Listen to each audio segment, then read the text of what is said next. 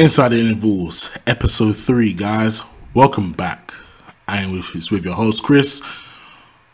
By myself at the moment, yeah. So I will be getting the rest of the guys uh, in um, the next week or so to actually do a group podcast again. Um, I thought I might as well do one by myself because uh, there's been a lot to there's been a lot to talk about, and unfortunately, I've been able to get um, the stuff I wanted to do out. So I know it's been uh, two weeks since the NBA Finals. I'm going to cover that.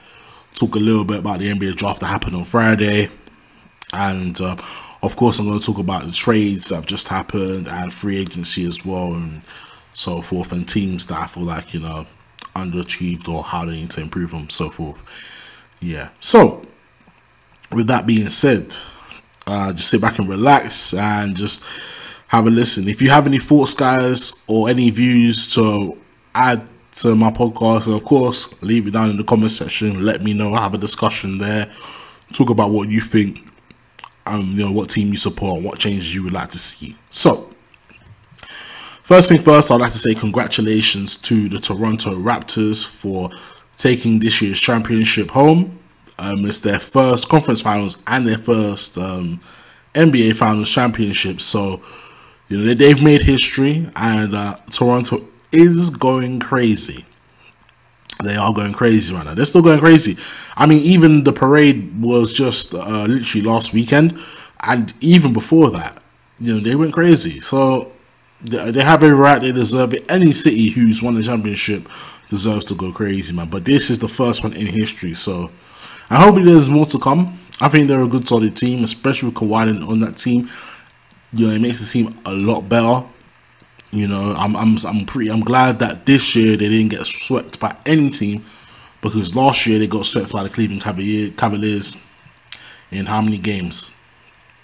You know, and it, you know, it's been a, it's been an up and down spiral thing for the Raptors, but now they are able to compete, and they are definite contenders for the future. If Kawhi stays, I think even if Kawhi leaves, I think the Raptors can still contend, but they've just lost a big piece to that team, to that structure. So you know, but either way, I think um, overall, I think the Raptors performance in the playoffs was overall it was overall good. I wouldn't say it was the best I've seen, but it was good, and it was uh it was interesting to see because they were trailing for I think it was for two of the series, and they just pulled it back. I think no, I think they were trailing for the first for the first three of the series actually. To be fair, from the first round, second round, and conference finals. So it just goes to show what what what dedication they had to make changes to improve throughout the playoffs just so they could win you know. And of course, to the Warriors who are the runners up. Of course, I think a lot of a lot of NBA fans want to see the Warriors go down, which is expected. You know, I mean, I want to see Warriors lose just because of the simple fact that we need a change, and I think it's time that that we got that change. You know, but the Raptors again. I mean, sorry, not the Raptors. The Warriors again went you know got the expectations done throughout the playoffs. Yeah, they didn't win it all, but you know, next season they can come back stronger or, you know, maybe make a few trades here and there to make to get a couple pieces that they think feel like they were missing and stuff. I mean, the only reason the only reason the Warriors I, I'd say personally lost is because of injuries. You know, KD, Klay, two of the biggest parts of their offense and defense, and unfortunately, it just it it it pretty much drained them. It drained them. It drained them physically mentally and emotionally. So you could see that. I think even Steph showed one of the biggest signs because of that when Klay went out. So it's just it's hard to try and gather your thoughts after you know one of your teammates has got an injury now. That's and the thing is with KD and Klay's injury, it looked like it, it could be they could be out for the season. So who knows? I'm, I'm guessing they could come back before the end of the season or they could come back around halfway of the season. But I think it's one of those things. It's it could be season ending. But I don't think it's going to ruin because I mean they are coming up. They are in free agents. They will be free agents soon. I don't think it's going to ruin ruin their stock as players. Their big names, and any team would be lucky to have them, even if they're injured or not. Simple as. So um, yeah. But enough talks about uh, the playoffs and such. That's happened pretty much two weeks ago now. Let's get into the draft a little bit. Now, um, this year's draft was interesting, and I think it was pretty obvious who we knew was going to go number one, which was, um, which was obviously Zion Williams. Zion Williams, um, you know, good player, 6'5", 200 and something pounds, very heavy guy for a 6'5 guy as well. And um, all I can say is that the Pelicans picked him up nicely. They picked him up nicely. Um, obviously, following you know you got RJ Barrett, Ja Morant, and obviously DeAndre Hunter. Not in that particular order, I think. Anyway, but yeah, those were the top four picks. Um, I think all four of those picks will be interesting to see what they can do for their teams that decide. I think for a team like for teams like the Memphis Grizzlies, they're definitely rebuilding. I can and they can do with someone like uh, Ja Morant. You know, rebuilding. They're trying to rebuild. They got rid of Mike Conley and Marc Gasol, so they're making sure that they rebuild and restructure the team. Uh, the Lakers, we got DeAndre Hunter. I think it's a good addition. Can probably help LeBron. You know, LeBron is getting old, and DeAndre Hunter can help help LeBron. Hopefully, I hope. And of course, we have the Knicks now. The Knicks have been pretty much suffering for the last couple of years now. And what hurts even more is that Porzingis is now playing with the Dallas Mavericks, and it's just made it's just made the Knicks look so silly that they would trade you know a player that they was building around. But hopefully now they can build around someone else. They didn't boo RJ Barrett when it came to the draft pick, so let's see if the Knicks can actually hold it together. The organization itself can actually hold it together and build around him. Now I understand, you know, they've got a few players there like um over the over over trades that happened in the season halfway through after all after the All Star weekend. And um, I will say this is that I think they've got a few bad contracts, so the Knicks will have to do something about that.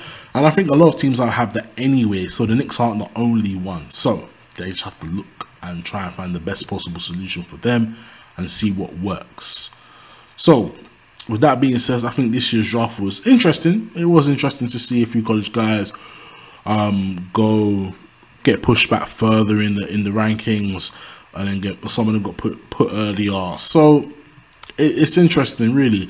Um, the one thing I can say about the draft that's been happening over the last couple of years is that um, it's always a popularity buzz, and I'm, I'm kind of glad that the Lakers didn't get the second pick. I kind of I of glad we got pushed down because um, I realize is that whenever we choose someone, it's because of popularity. Um, I felt like D'Angelo Russell, yeah, when we picked him, it was popularity, but at the same time, he can play. You know, Lonzo is the same thing. You know, DeAndre Hunter, I've seen glimpses of him. It's sort of the same thing they can prove, but but, but they prove to be good players. I hope DeAndre Hunter can do the same thing. You know what I mean? So, getting into the Lakers, um, I will say this that I'm happy that we got Anthony Davis, but I'm not happy how we have to trade our young core players to get him. What I don't like about what I don't like about this is that, you know, uh, the Pelicans actually refused to take him after the All Star weekend, refused to trade him after the All Star weekend because the Lakers were pretty much seriously like because LeBron was talking to to the head office Lonzo Ball, Brandon Ingram, Josh Hart. I think at least five or six players were offered for Anthony Davis, and I'm thinking that's not worth one player. And I think we still traded five players for Anthony Davis because the two future future first round picks, including Josh Hart, Brandon Ingram, Lonzo Ball. Now, out of the out of the three that got traded, I felt like we could have kept Ingram, Lonzo, Josh Hart. Mm, I get it. I kind of get it. But at the same time, we did we still do need a point guard. But I guess it kind of benefits the New Orleans team because they are trying to push the boundary now. And hopefully that team can come together and see what they can do. Now, AD coming here, I don't want to hear it from anybody else, but the Lakers are a contending team. We are contenders. We've made ourselves contenders. Now, my problem is this. LeBron I feel like I know LeBron is the star player of the Lakers. I know he is of that team. But if you have an input to trade players and the request of players that you want, it's making it hard for the teammates of your teammates around you to even be around you or to even trust you because you might want to trade it in an instant. I get it. You're the star of that team. You're the star of the LA show. But can we not act Hollywood, please? Can we play basketball and think about the best moves for the team as a whole? You know? Magic Johnson resigned. I get why he resigned. I get it. You know, he explained himself and he said himself, and he explained himself why he resigned. I get it. But at the same time, it's like, well, this is Los Angeles. This is LA. This is it, it's Hollywood. It, right now, we I, I get it, but come on, we're playing basketball here. All we need to do is just focus on making good moves for the team. Now, I understand with the Lakers right now, we kind of stretch for who we want. We want uh, a season beforehand, we wanted Paul George. We wanted LeBron James. Now we got LeBron James. Yeah, we wanted all these other players. They haven't come. Kawhi, I don't think he's coming to the Lakers. I think he's better off going to the Clippers. Reason why I think that team is defensively better, and they need an defensive firepower, which and Kawhi can do both. If he does decide to leave the Raptors. Yeah. We need the point guard position filled. The reason why we need it filled is because we traded away Lonzo and Josh Hart. We had two good, promising guards, young guards. I, I don't care what people have to say about Lonzo because I've always had hopes for Lonzo. I mean, yeah, there's a lot of pressure to him because of what his dad said. Forget about what LeVar said. It's about Lonzo when you playing the game, right? Lonzo is playing this game, right? Lonzo has actually been performing, but people have expected so much from him that he's had to kind of step back a little bit. I've, I've seen it in games. I've seen it where it's like he, he doesn't want to do certain things he, he wants to do. Unfortunately, you know, it's a lot of naysayers and a lot of. I think even some Lakers fans as well saying, "Oh, you know, Lonzo could have been. We could have got a, lot, a better pick than Lonzo." I get it. We could have got Malik Monk last year. I was hoping the Lakers would pick him rather than Lonzo because we needed a guard. What did we do? We traded D'Angelo Russell, who's having a better, who's having a really good career in, in Brooklyn right now. We get Lonzo. Now Lonzo isn't a bad point guard. I think he's good. He's an old school type of PG, but I think my issue is is that he, because of the pressure around him, he can't perform. And I think he's good. He's good. He's gone to New Orleans where that pressure is taken off massively because being on a team like the Los Angeles Lakers, you have to be able to perform. You know, and I think for a lot of us Lakers fans, we're expecting if you come to the Lakers, you have to be a player that wants to contend for a championship. Fair enough. I think everybody, I think every player should have that mindset, contending for a championship. But we have to focus on the smaller process here. Well, I mean, the bigger process. Sorry is what? Rebuilding, restructuring, then contending. We can't just focus on contending without restructuring or even trying to rebuild. And I think that's the issue we've missed is because LeBron is on our team. Now, as soon as LeBron came to the Lakers, everybody's saying, well, you guys are contending because LeBron's on your team. That's not the case. I mean, I never expected the Lakers to make the playoffs maybe the first half of the season I did because I saw okay we're seventh, we're eighth. I wouldn't mind if we're eight if we're the eighth seed. That's it. I mean, just getting knocked out in the first round. Cool. That is our that is something we have to deal with. Cool. But we didn't make any of our expectations. I felt like we could have done better. Honestly, I felt like we could have done better. There were teams in the West that I felt like that should have made the playoffs, like the Sacramento Kings, for example, didn't make the playoffs. But they, I think they overachieved more than the Lakers did. Honestly. Now, we have AD. We have Anthony Davis. I, I don't want to hear it now. You know, Lakers, we are contending. We are honestly contending. If we don't make the playoffs this year, then something is clearly wrong. Something is clearly wrong. I don't want to hear, oh, well, you know, it's down to uh, or the organization. No, at this point it's down to coaching, it's down to the team, the players, right? And we just got we recently just got a new coach as well, uh, Frank Vogel. He was a good coach, especially for the Indiana Pacers back in the back in the early days of Paul George on that Indiana Pacers team when against the Miami Heat, LeBron's Miami Heat. So him being a coach on this team it, it's a good thing. I think it's a good thing. And then we made we got Jason Kidd as an assistant coach. I think our defense will go up. Now we've got AD, we've got LeBron. Cool. We can we have to contend. Our PG spot is still not filled. It's still not filled. Why do the Lakers think it's okay to get rid of our young core again? I'm frustrated at the fact that young players, I mean, any player is expendable, but to rebuild and have a good process of trying to get a team to make the playoffs, it comes from the young core. If you can't make them compete, or you just trade away young players on the bench or in the starting lineup, we're just gonna have guys who are overpaid, tired, non-athletic and can't do the things they did when they were younger. AD's still young. Cool, he's got time. LeBron has been conditioning himself really well for a 34 year old playing basketball, so I do expect that high level still, and he has given that. The point guard position, I would like to see the Lakers now chase Kemba Walker.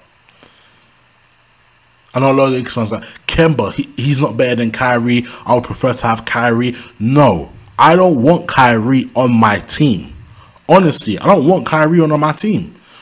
I, the reason why I don't want Kyrie is because I feel like he's underachieved when he was at Boston. If he comes to the Lakers, what makes you think he's going to do any anything of the same or anything different? He's going to be doing something of the same of what he was doing at Boston, especially if if the Lakers are not winning games. Get someone like Kemba Walker, who's an experienced point guard, who's had experience playing with a team that's not that great. Now, I'm sure a lot of Hornets fans don't want to see Kemba go. I wouldn't mind to see him go because he, I'm sure in his mind he wants to win. He's an underrated point guard. Him and Mike Conley Mike Conley just went to the Utah Jazz. I think the Jazz have made the right move to go forward. To, to at least get into the playoffs, to get into good rankings, and maybe even contend. It's pushed them that much better now. The Lakers, we're going to be struggling if we don't find someone who's good at the point guard. Yeah, we have Rondo. Defensively, he's good. He can set the basket, but he's not as swift as he used to be. Offensively, he can't shoot the ball. We need a point guard who can shoot.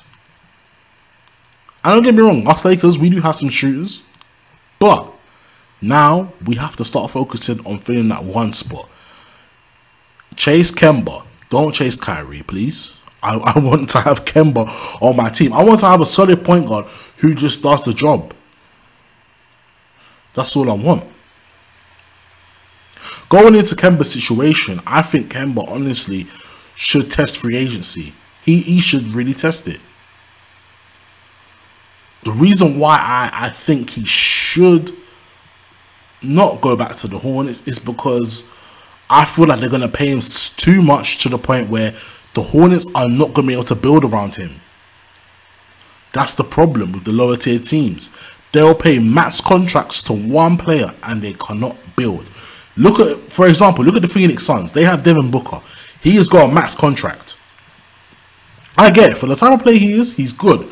But this is the problem. You have no money to offer any other players to come and play for that team. You have to offer you have to offer bummy contracts to players who who can't do much. Who are role players. And I get it, it's good to have role players, it's good to have that depth. But what about the starting lineup?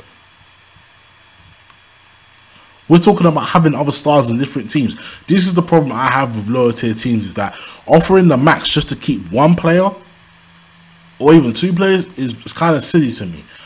Washington Wizards is another example. John Wall has been out with for an injury throughout the whole year. Yet he's on like a 200 mil contract for five, maybe what, seven years now. You cannot build around him. You cannot get any more players now. You've ruined your chance.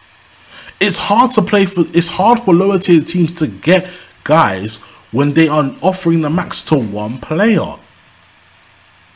What two? Because they've got Bradley Beal still. I don't know if the Lakers are still chasing him. I wouldn't mind to get him too because he is a shooter. But it's all about timing and it's all about the right fit of chemistry and it's also about the cap space. I think it, it it's silly for teams to want certain players when they know the cap space is going to be a problem. They know. They know this. They know this. You know, I mean, look at the Warriors, for example. They were talking about because of the new stadium they're building, they're upping ticket prices and they're not worried about the cap space because they want to keep all their stars. They want to resign all their stars.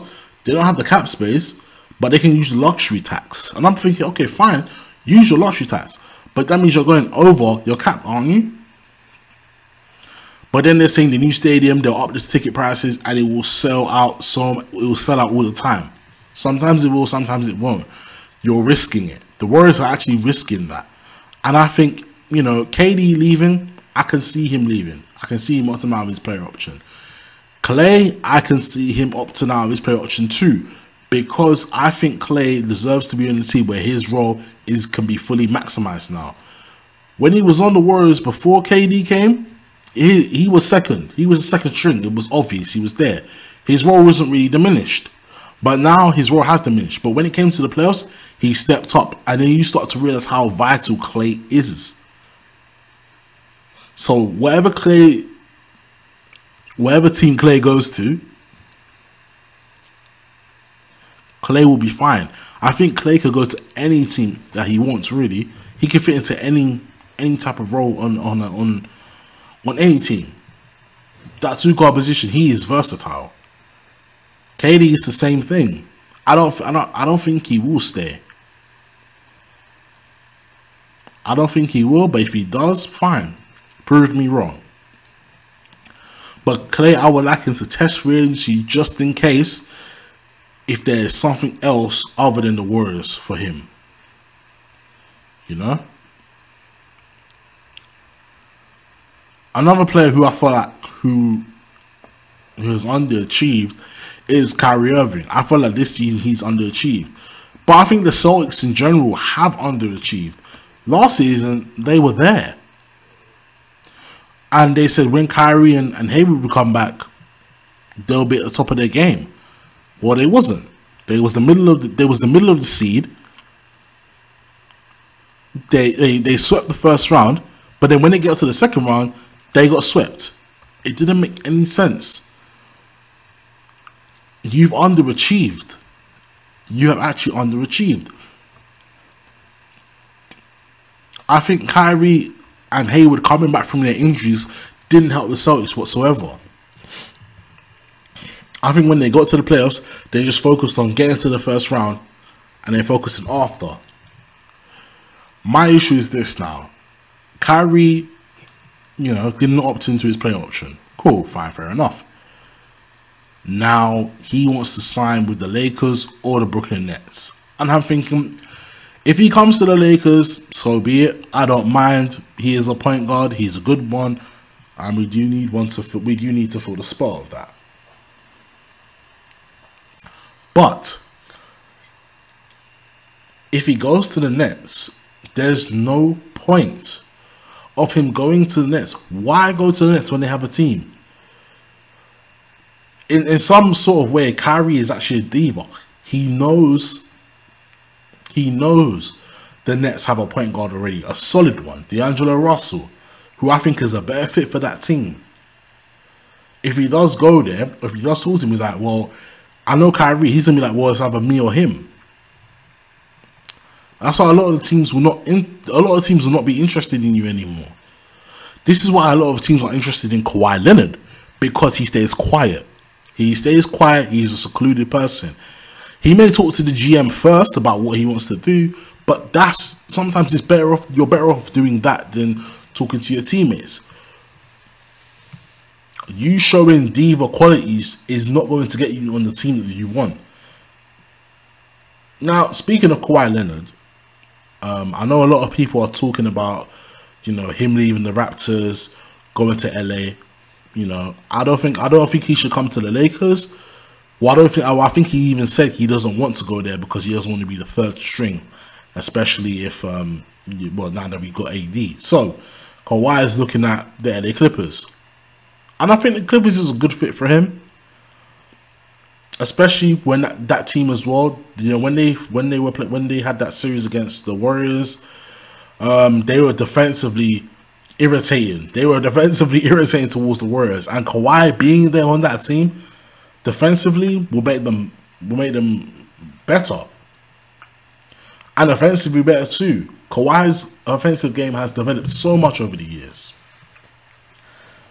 Now, obviously, you know, Kawhi, his situation is if he resigns, it's an impact for the Raptors.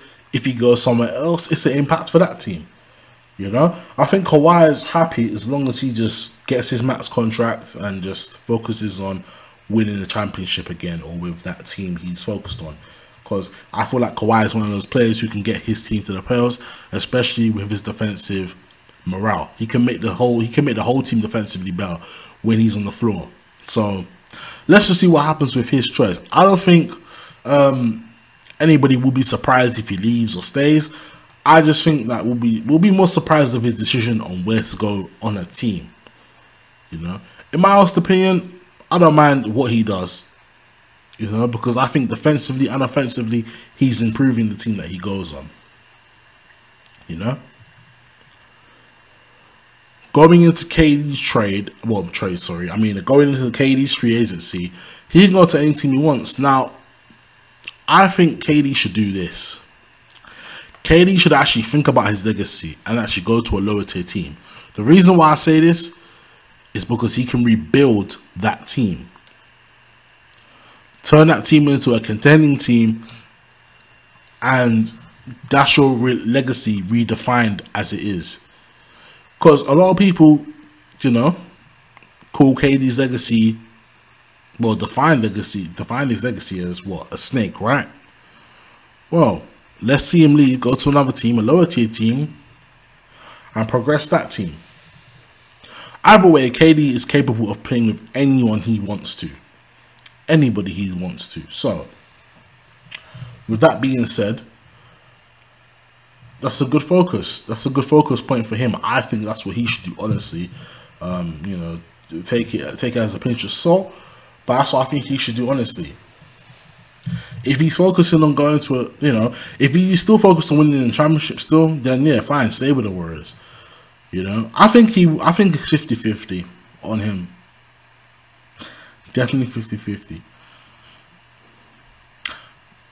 now with the whole um, free agency happening in a few weeks, I think uh, the guys who I've just mentioned will be the most ones, will be the most that everyone is talking about. And um, of course, you're going to see some crazy like players getting silly offers and whatnot. So my advice is this: is that, like I said, to the lower tier teams, you should be focusing on adding extra players or stars to your roster. Do not offer your main person the max where you can't get anybody. To the higher tier teams, you should just be focusing on your depth, how you can build. You know, and I think one team that really needs to work in their depth is uh, is the whole Oklahoma City Thunder. Now, don't get me wrong. OKC have Paul George and Russell Westbrook, right? But the problem is, is that both of these players are ball dependent. And I, and I get why they're ball dependent. It's because they don't have anybody that can play off them or shoot around them. You know? I think even OKC said they were they were actually open on trading uh, Steven Adams and two other players. And I'm thinking, well, I think Steven Adams is a good fit. He's you know he's a good center. I just don't see the point on why they can't focus to get shooters. Get shooters for that team. That team doesn't really have any depth. The players that are on the bench, they can't play around Russell Westbrook or Paul George. So imagine those two are taking most of the scoring load, and when they get cold, no one can else can do anything. No one else can do anything. That doesn't make any sense. You've got to you've got to have some type of depth around your around your star players. Otherwise, you are going to suffer. Do you, does, does do these teams not understand that? I think a lot of these teams. This is how a lot of this is how a lot of um, star teams like OKC kind of plummet down in the ranks because there's no depth, there's no control to what you know these star players can do, and when the star players are out, are out of gas, they can't rely on nobody but themselves. That's the issue. And we saw that in the first round of the playoffs. OKC, you know, they 4-1 it's an it's not it's not pretty. It is not pretty. I will say this though, that you know they have really got you know OKC have really got to rethink their strategies. They've actually got to focus on players who want to be in that organization and who are looking to actually progress. If I was OKC, yeah, get rid of some players and apply and get another star if needed be. If no one on the bench is going to do anything, get another star that can take on the rest of the scoring load. Then that way, when Russell Westbrook and Paul George go cold, they have someone else to rely on. And if that third person goes cold, then the bench don't really have to do much. And I think teams have showed that before. So, with that being said, free agency is going to be very interesting. I definitely want to see who gets traded, who who's going to buy into their player options, who's going to sign with who. So um, just have your popcorn ready, guys, and just just hope for the best. And if whoever whoever team you're supporting, just hope you know you guys can actually just build a better team, make a team stronger, keep your assets if needed be, or throw away some assets if you don't need them at all. And so be it. So yeah, guys, that's pretty much it for the podcast. Um, episode three in the books. Don't forget to like, share, comment, and subscribe. Uh, also, comment down below if uh, if you have any topics that you want me to discuss in future podcasts.